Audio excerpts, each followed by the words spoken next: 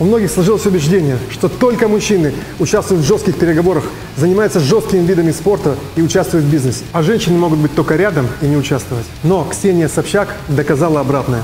Она создала свой личный бренд, и я иду на ее мастер-класс, так как понимаю, что личный бренд играет важную роль в бизнесе. Встретимся на мастер-классе Ксении Собчак «Я бренд».